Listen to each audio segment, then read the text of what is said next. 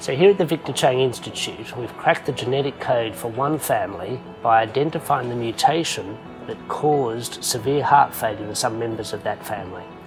We've furthermore been able to devise a therapy, a personalised gene-based therapy that could overcome that genetic defect.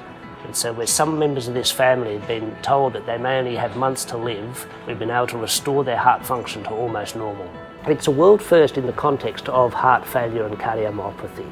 Dilated cardiomyopathy is a condition where the heart cannot pump enough blood around the body, and it's a major risk factor for stroke and heart failure. And it affects about 1 in 2,000 Australians. So, this is a great example of bedside to bench and back to bedside medicine. We had a group of referring clinicians who identified a family with an unusual problem they were able to refer them to Diane Fatkin's laboratory at the Victor Chang to do the molecular genetic studies and identify the genetic problem in the patient.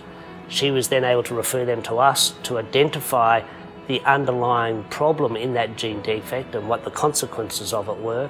We were then able to formulate a recommended treatment for these patients, take that back to the referring clinicians who were then able to implement a management plan that has resulted in these patients getting almost full recovery from their condition.